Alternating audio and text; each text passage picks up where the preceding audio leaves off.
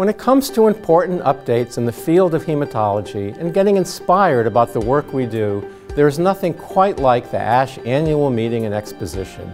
As the world's most comprehensive hematology event, the ASH annual meeting provides an invaluable education and collaborative space for thousands of physicians, trainees, advanced care providers, scientists, and industry professionals from around the world. I'm Dr. Roy Silverstein, President of the American Society of Hematology, and I'm honored to invite you to the 61st ASH annual meeting taking place in December in sunny Orlando, Florida.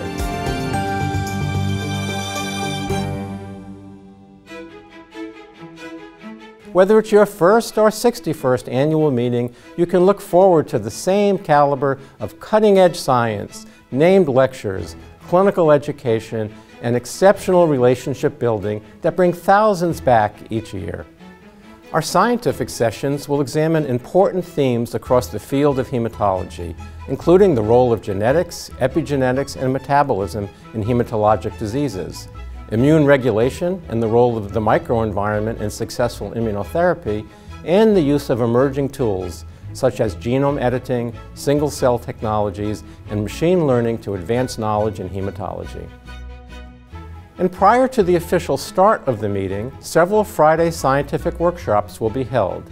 These interactive sessions, organized by various subspecialty communities within the field of hematology, offer the opportunity for those with a common scientific interest to gather to discuss topics relevant to their research.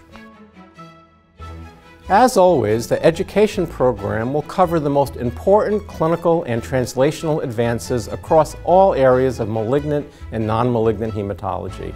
This year, we're continuing the popular case-based format combined with an interactive platform that allows the audience to answer questions posed by presenters and see how their clinical decision-making compares to that of their peers. Some highlights of this year's program will include a combined basic science and education session on cancer-associated thrombosis, a session on the soon-to-be-launched ASH clinical practice guidelines on sickle cell disease, and a point-counterpoint session on curative therapies for sickle cell disease. We are also offering several discussion-based roundtable sessions on topics such as myeloma therapy, molecular hematopathology, and global perspectives of chronic myeloid leukemia.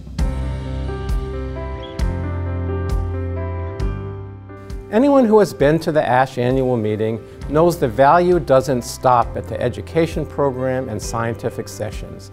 Other exciting offerings include the Friday scientific workshops, the first ever ASH Wellness Studio, a revamped ASH Women in Hematology networking reception, and the ASH Foundation Run Walk.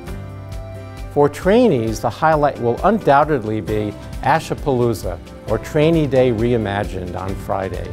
This year's event will be held at Topgolf, where trainees will have numerous opportunities for learning, mentorship, networking, and fun.